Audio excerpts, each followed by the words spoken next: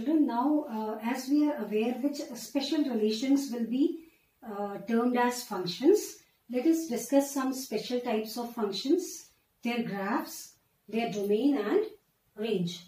Before proceeding with that, we will first uh, discuss real valued function, which functions will be termed as real valued functions. So as per the definition, a function which has either R, this notation R is for set of real numbers, not for relation. Okay.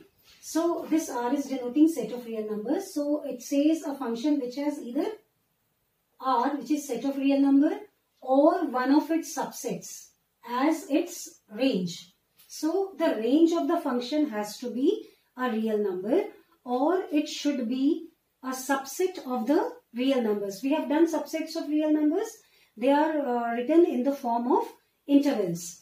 So if the function is having entire set of real numbers or its subsets as its range, then it is called a real valued function.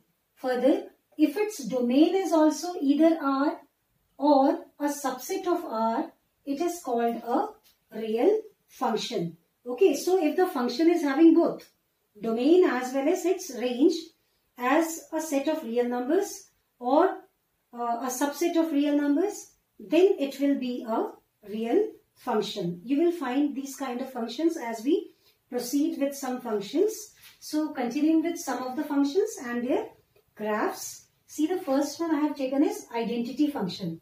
As the name suggests, we can come to know uh, what identity function can be. Something which is not changing its identity. That is how the function may be defined. So see here a real valued function f from R to R.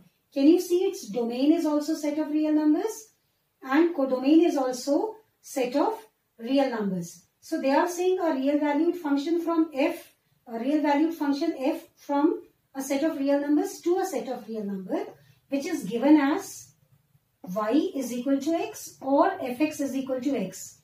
Both the notations are same. You can use any one of them.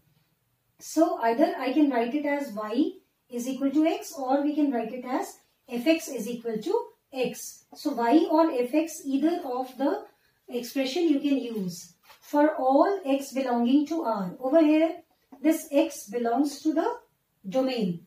This is an identity function. So you just look at this equation. If we consider the equation y is equal to x and we try to plot it. You have done plotting of uh, polynomials in class 10th. So y is equal to x. If I have to plot, you can assign real values to x and corresponding to that you can get the values for y. You will find whatever value x will assume, same will be the value assumed by y also. So if x becomes 0, y is 0. If x becomes 1, y is 1. If x is minus 1, y is minus 1. So you can see over here. On plotting it, it will be a line which is inclined at an angle of 45 degree with the x-axis in the first quadrant. This is how it will come. x is 0, y is 0, then x is 1, y is 1, then x is 2, y is 2, then x is minus 1, y is minus 1 and so on. So you can see the identity of the element is not changing. Whatever is the element taken from the domain, it is having same image in the codomain also. So you will find every real number taken from here is having an image in the codomain. So let us see looking at the function can we define its domain and range? Domain means the values, uh, the set which will contain the first elements of the ordered pair. So let us see what all ordered pairs will get. There will be infinite ordered pairs here. And what type of first elements they will be. You can see when we write the equation y is equal to x, we are assigning values to x. x comes from the domain. So I have to see when x is given infinite values, what are its images in the codomain. So those values of x will form the set called domain. You can see if I replace x by 0, its image comes out to be 0. So 0 is paired with 0. If x is 1, y is 1. If x is minus 1, y is minus 1. These are some easy values we have assigned. x can be any rational number, it can be any irrational number. That means at this first position, I can get any real number, either rational or irrational. So the domain of this function is R because uh, x is taking any real value. Can you see this part? For all x belonging to R. So the domain is already defined here. That means x can take any real value. That means the first element in the infinite ordered pairs, if I collect them, that will give me a set of real numbers. Now what about the range? Range means whatever values x is assuming, corresponding to that, what results you are getting for y. That means what is the image of x? You can see whatever value x will take, for that there will be a value of y. So all these values of y will be forming the set called range. We could see whatever value x is assuming, same value is assumed by y also because y is equal to x. So if the domain is R, the range is also the set of real numbers because whatever will be the first element in the ordered pair, same will be the second element. So in this case, domain and range are equal. Okay, they are the same sets. That is set of real numbers. Now moving on to the next function, which is constant function. It says again a function f from R to R defined as y is equal to c or fx is equal to c. x here is the element of the domain and c is a constant. So what does it implies? No matter whatever is the value of x, the value of y will come out to be c. So c is a constant. If your function is of this type, then it is called a constant function. When we say c is a constant, that means this constant can be any real number. So for plotting the graph, I have assigned a value to c. It is 1. Suppose c is 1 and this is what you have to plot. So what will this equation reduce to? It will become y is equal to 1. So do the plotting of y is equal to 1. If you see, no matter, this means what? y is equal to 1 will give us a line which is parallel to the x-axis. That means no matter whatever is the value of x, y always comes out to be 1 only. It remains constant. y does not changes with different values of x. I'll write some pairs for example. Suppose x is 0, then also y is 1. If x is 1, then also y is 1. If x is 2, then also y is 1. If x is root 2, then also y is 1. So no matter by which real value you are replacing x, y is always coming out to be 1 only. That is why it is a constant function. So what is the domain now? Domain means again the set of the numbers which all x can, uh, the values which x can assume. Whatever values you can put for x. That will give us the set called domain. You can see again in the definition itself they have written x belongs to R. So domain is the set of real number. You just look at this real line. Then you see the line parallel to it which is y is equal to 1. On this line y is getting infinite real, sorry x is getting infinite real values but corresponding to that y always remains 1. So range will be what? Range means the set of second element in the ordered pairs. I wrote some pairs here. You must have seen if x is 0 then also y is 1. If x is root 2 then also y is 1. If x is minus root 2 then also y is 1. So what is happening? The image of every real number is coming out to be 1 only. That means whatever is the value of c. You can get the idea of range from here also. Range means the possible values which y can achieve or it can get.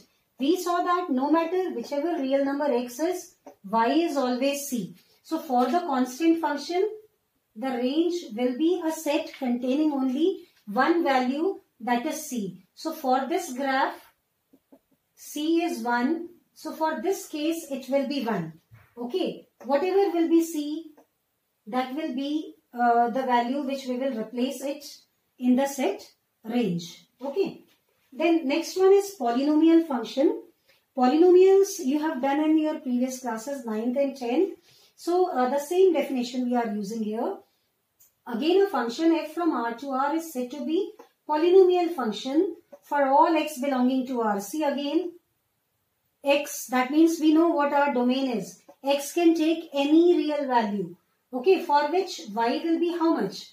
a0 plus a1x plus a2x square till an x to the power n. If the expression is of this type, we have done polynomial functions with uh, in one variable with degree 1. We have done polynomial functions in one variable with degree 2. They are called quadratic polynomial. You have done cubic polynomial, biquadratic polynomial. You can see they are of this form. Okay, where n is a non-negative integer and all these are real numbers. These are the coefficients of the variables you can see.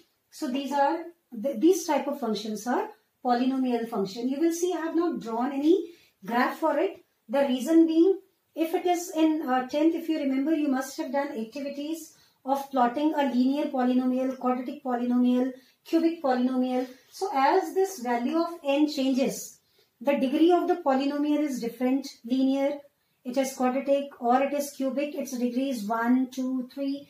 Depending on that, the graph will change. We cannot have a fixed graph for it like identity function or constant function because depending upon its degree, the diagram or the graph will keep on changing. But what remains same for all the polynomial functions we can discuss. Now when we talk about polynomial function, what is the nature of x here? x can be any real number. That means you can replace x by any real value. That will be domain.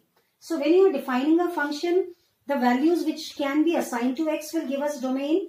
And for that, whatever values we will get for y, that will give us the range. So it is already mentioned x belongs to R. So the domain is a set of real numbers. Now how to define the range for it? Do you think corresponding to all these real numbers, the range will also come out to be a set of real numbers?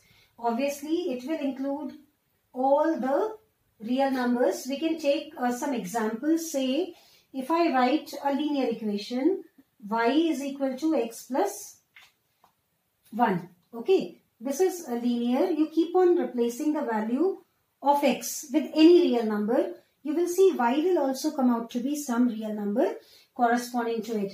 You replace it by a quadratic polynomial, the right hand side. So y is a quadratic polynomial x square plus 1. So we have to see, can we get all the values for y? Now it makes a difference. When we come to this part, whether x becomes positive real number or it becomes negative real number, its square will be positive only. If the square is positive, then that plus 1 will come out to be positive number. So y is always coming out to be positive. It is never becoming negative. Though in the previous example, if you see, it can be any real number. So what do we notice from here? The range will differ from the given polynomial uh, to the other. So we cannot generalize the range here. So unless and until we don't know what the polynomial is, its range we will not define. Okay. In the same way, talking about rational functions now, you are aware of rational expressions. Uh, rational numbers, they are of the type uh, p by q, where p and q are co-prime integers and q is not equal to 0. In the same way, we can define a rational function. These are the functions which can be written in, uh, in the form fx over gx, where fx and gx are polynomials in terms of x defined in a domain where gx is not equal to 0. Now what is meant by this part? So when we talk about this function, one thing we need to be sure about, for no value of x, the denominator should become 0. If the denominator becomes 0, it will take indeterminate form. That is why they are not saying here for all x belonging to R. Look at this. Here we knew, knew x can be any real number. Even here we knew x can be any real number. Even here. But we are not saying that here. We are saying x will be in the domain. How will I define a domain here?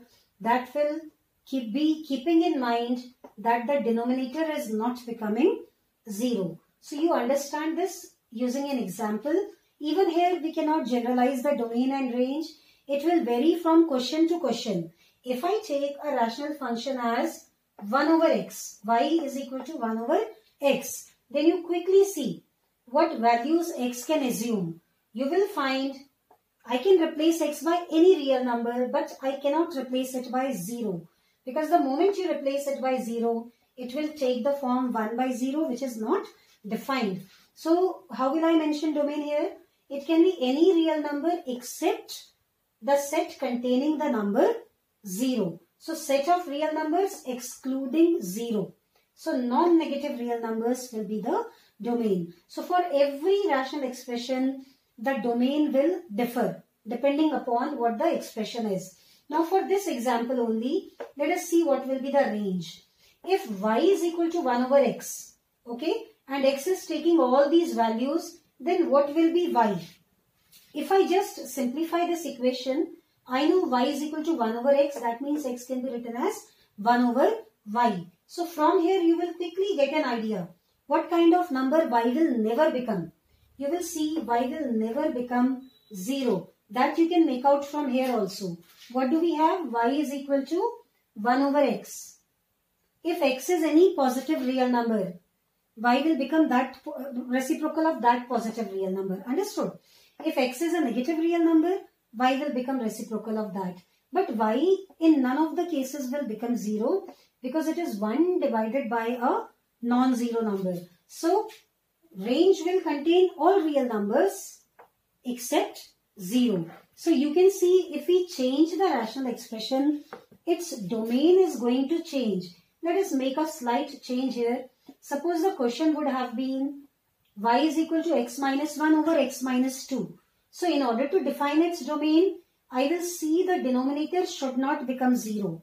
So you will find the moment x becomes 2, the denominator becomes 0. So in its domain, x can be any real number but not 0. That is what the definition says. It says it is uh, fx and gx are polynomial functions of x defined in the domain where gx is not equal to 0. So x will assume only those values for which denominator is not 0. So when we say x minus 2 should not be 0, it means x should not be 2.